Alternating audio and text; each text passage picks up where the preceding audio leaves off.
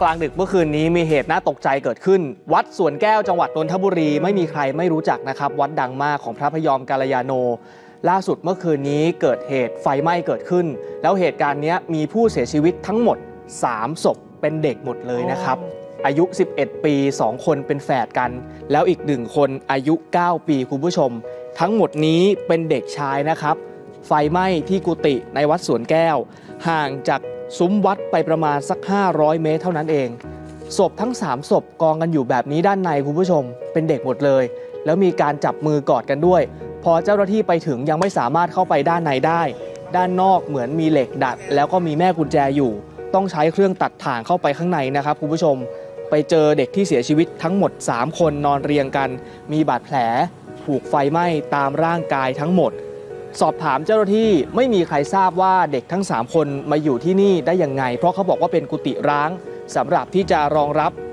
พระภิกษุ หรือว่าสามเณรที่จะมาบวกภาคฤดูร้อน แต่ปรากฏว่าเด็กทั้ง 3 คนเข้าไปอยู่ในนี้ มีคนที่ให้ข้อมูลครับ บอกว่าจริง ๆ แล้วเนี่ยกุฏิเนี้ยเป็นช่วงที่เด็ก 2 คนที่เป็นเด็กแฝดเขามาอาศัยอยู่ที่วัดพอดี ปรากฏว่ามีการให้เข้ามาพักอาศัยที่นี่ แล้วก่อนที่จะเกิดเหตุมีเด็กอีก 3 คนเข้ามาเล่นด้วย รวมเป็น 5 แต่ว่าก่อนจะเกิดเหตุเด็ก 3 คนอยู่ที่นี่เพียงลำพังเพราะกลับไปแล้ว2คนคุณผู้ชม เจ้าหน้าที่ต้องนำเครื่องตัดถ่างมา กว่าจะเจอร่างกว่าจะเอาร่างออกมาก็ล่อไปเกือบตีสองของเช้าวันนี้นะครับคุณผู้ชมทั้ง3เนี่ยผิวหนังไม่เกรียม ผิวหนังหลุดลอก แล้วบางรายก็มีน้ำลายฟูมปากด้วย เอาศพมาชันสูตรคุณผู้ชม เป็นเด็กหมดเลย ไม่รู้ว่าสาเหตุเกิดจากอะไรนะตอนนี้ ไฟฟ้าลัดวงจรหรืออย่างไรยังไม่ทราบนะครับ ล่าสุดเช้าวันนี้คุณผู้ชมครับ เราเดินทางไปที่วัดสวนแก้วนะครับ ปรากฏว่าวันนี้ก็มีหน่วยงานหลายพื้นที่ลงพื้นที่มาตรวจสอบ ปรากฏว่าเราไปเจอย่าของเด็กแฝดด้วยนะครับ นางสาวจำลองอินยาศรี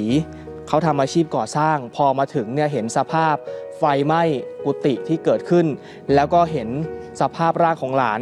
ย่าเขากอดคอกับญาติญาติแล้วก็ร้องไห้ด้วยครับ นางสาวจำลองเนี่ยเล่าให้ฟังบอกว่าน้องแฝดสองคนเนี้ย ก่อนหน้านี้เขามาเรียนช่วงฤดูร้อนตอนปิดเทอม แล้วก็ศึกออกไปเคยมาบวชแล้วรอบหนึ่งแต่ปรากฏว่าย่าบอกว่าครอบครัวมีปัญหากัน ก็เลยขอให้หลานกลับมาอยู่ที่นี่อีกสักแป๊บหนึ่งพระพยอมท่านเมตตานะครับ ให้หลานได้บวชเรียนที่นี่ แต่ปรากฏว่ามาเกิดเหตุแบบนี้ก่อน ทุกคนตกใจมากเมื่อคืนพอได้รู้ข่าวว่าวัดสวนแก้วไฟไหม้หลานทั้งสองคนเนี่ย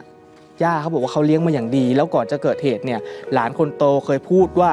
หนูรักม้าที่สุดในโลกเลย พร้อมกับร้องไห้ด้วยก่อนหน้านี้ที่ต้องมาอยู่ที่นี่เพียงลำพังสองคนพี่น้อง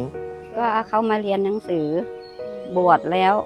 พอบวชได้บวชแล้วก็ ศึกแล้วก็ได้เรียนหนังสือ อยากให้เขามีความรู้ เขาก็แยกกันจ้ะแยกแต่เล็กๆแล้ว แต่ยังไม่เคยเห็นหน้าพ่อก็เป็นยังไง แล้วตอนนี้แม่เขาอยู่ไหนทราบข่าวแม่เขากำลังเดินทางมาจ้ะ จ้ะคุณย่า เป็นยาทวดอะ เป็นทวดเขาเป็นก็ตกใจก็ว่ามันน่าจะเป็นไปได้ ใช่ไหมมันก็ไม่น่าเป็นไปได้ ก็เราก็อยู่เพื่อเขาสองคนเนี่ยก็เอาเขาโอ้มายคุณผู้ชมครับ แล้วเราเจอกับน้าของแฝดทั้งคู่เป็นญาติอีกคนนึงเนยนะฮะที่วันนี้ก็มาแล้วก็ร้องห่มร้องไห้เหมือนกัน คุณน้าธนพัฒน์สิริสมบัติแกเล่าให้ฟังแบบนี้ ที่ เด็กทั้งคู่เนี่ยเด็กแฝดเนี่ยนะมาอยู่ที่กุฏิเนี่ยคือจริง ๆ ก่อนหน้านี้ 2 ค่ะ เดือน เคยบวชสามเณรที่นี่ แล้วก็เคยอยู่ที่กุฏิแห่งนี้ พอศึกออกไปครอบครัวก็อยากให้ศึกษาเล่าเรียน ทั้งเรียนหนังสือแล้วก็เรียนธรรมะอยู่ที่วัดสวนแก้ว ให้หลวงพ่อพระพยอมกัลยาโนได้ขัดเกลาบ่มเพาะนิสัย ก็เลยอยู่กลับมานอนที่วัดเอ่อที่กุฏิแห่งนี้เหมือนเดิมครับเพราะมันเป็นความคุ้นเคยเหมือนตอนที่ยังบวชเป็นสามเณรอยู่ แล้วที่มันมีกระแสข่าวบอกว่าทางวัดเนี่ยล็อกกุฏิจากด้านนอก เด็กเข้าไปอยู่ข้างในแล้วไม่รู้ก็เลยหนีออกมาไม่ได้ แล้วก็ถูกไฟคลอกเสียชีวิต คือคุณธนพัฒน์ก็ยืนยันนะว่ามันไม่น่าจะเป็นเรื่องจริงนะ เพราะเหตุการณ์ที่เกิดขึ้น เขาบอกว่าไฟฟ้าลัดวงจรเท่านั้นเอง เมื่อเหตุการณ์มันผ่านไปแล้วเนี่ยหลานก็เสียชีวิตไปแล้ว ย้อนเวลากลับมาไม่ได้ ก็คงต้องรอผลการตรวจพิสูจน์ ซึ่งล่าสุดคุณผู้ชมครับ ถ้าลองดูลักษณะของกุฏินะฮะเขาบอกว่ากุฏิอันเนี้ยมันเป็นกุฏิไม้ครับแล้วโครงเนี่ยเป็นโครงเหล็ก มุงด้วยหลังคากระเบื้อง เพราะฉะนั้น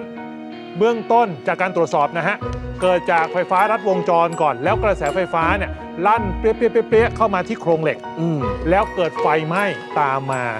เด็กทั้ง 3 คนพยายามจะหนี แต่มือไปจับโครงเหล็กของตัวกุฏิ ก็เลยถูกไฟช็อต แล้วก็ถูกไฟคลอกซ้ำเลยเป็นภาพลักษณะที่หงิกงอนอนกอดกันอยู่ในกุฏิแต่เรื่องนี้รอผลการสอบสวนที่ชัดเจนอีกที ซึ่งทางพัฒนาสังคมและความมั่นคงของมนุษย์จังหวัดนนทบุรี ทางหัวหน้าสำนักงานก็ลงมาพูดคุยกับวัยยาวัจกรวัดนะฮะแล้วก็ให้ความช่วยเหลือในเบื้องต้น บอกว่าเด็กๆเนี่ยปกติเขาจะนอนที่กุฏิที่นี่แหละ ช่วงเย็นก็จะวิ่งเล่นกันในวัดปีนเล่นกัน คือทุกคน ตอนช่วงค่ำเมื่อวานไปเวียนเทียนทำบุญด้านหน้ากันหมด เลยไม่มีผู้หยงผู้ใหญ่ที่มาสังเกตเห็นความผิดปกติตั้งแต่เรื่องไฟฟ้าลัดวงจร แต่เจ้าหน้าที่พิสูจน์หลักฐานจะมีการตรวจสอบรายละเอียดอีกครั้งหนึ่งค่ะแล้วก็รอให้พระอาจารย์พยอมกัลยาโนเนี่ยท่านแถลงข่าวอีกทีหนึ่งเพื่อความชัดเจนว่าอืมสาเหตุที่มาที่ไปไฟไหม้เกิดจากอะไรทำไมเด็กทั้ง 3 คนถึงมานอนเล่นอยู่ในกุฏิแห่งนี้นะฮะค่ะ ไม่เคยเกิดเหตุการณ์สถานการณ์แบบนี้ มันเพิ่งมาเกิดครั้งแรกเลย แล้วก็เป็นวันบังเอิญวิสาขะเทศเสร็จก็ไปเวียนเทียน พอเวียนเทียนเสร็จก็ต่างคนต่างแยกย้ายกันไป เด็กก็คงเห็นโอกาสว่าไม่มีผู้ใหญ่ดูแล ลงไปหยอกไปเล่นอะไรกัน อันเนี้ยมันก็เลยทำให้เกิดเหตุที่ไม่คาดฝัน ตามที่เด็กบอกว่า ผมก็ลงไปเล่น แต่ขึ้นมาก่อน ถ้าไม่ขึ้นก่อนอาจจะห้าศพแต่ความจริงต้องรอพิสูจน์หลักฐาน วันนี้เรามีรปภเป็นสิบก็วิ่งมาดู วิ่งมาดูเห็นไฟไหม้ก็รีบวิ่งไปเอาถังดับเพลิงมาฉีดดับ เพราะฉะนั้นที่ข่าวลงว่าไปถึงแล้วเข้าไม่ได้ เพราะล็อกกุญแจหน้าห้องไว้ ถ้าล็อกกุญแจหน้าห้องจังหวะจะต้องวิ่งไปเอา อะไรดับไม่ทันเด็กไหม้หมดนี่ว่าดับทันเพราะประตูไม่ได้ล็อก คราวนี้มันก็เป็นเด็กเล็กด้วย